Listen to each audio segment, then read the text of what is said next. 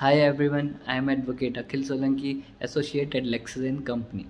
So today we're going to discuss about an observation of Supreme Court regarding whether a petition be dismissed on grounds of alternative remedies when only question of law are raised. In this matter, my friends, the Supreme Court observed that it is not proper to dismiss a writ petition on the grounds of alternative remedy without examining whether an exceptional case has been made out of such entertainment. The Supreme Court referred to a case of High Court of Punjab and Haryana where the High Court of Punjab and Haryana dismissed the writ petition, relegating the petitioner to the remedy of an appeal. Uh, under Section 33 of the Haryana Value Added Tax Act, the writ petitioner had questioned the jurisdiction of the Taxation Deputy Excise and Taxation Commissioner.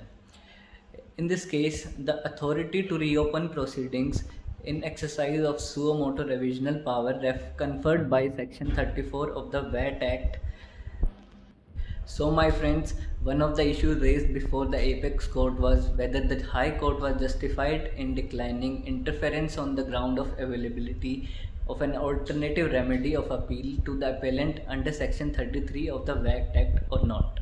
While answering to this issue, the bench noted that it has come across many orders of High Courts holding writ petition as not maintainable merely because the alternative remedy provided by the relevant statutes has not been pursued by the parties' desire of invocation of the writ jurisdiction.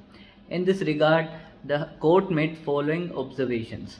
And the first one is that mere availability of an alternative remedy would not oust the writ jurisdictions.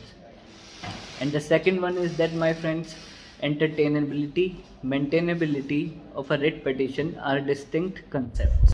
So, my friends, the conclusion is that the bench noted in this writ petition a jurisdictional issue was raised questioning the very competence of the revisional authority to exercise suo motu power. It being a pure question of law, we are of the considered view.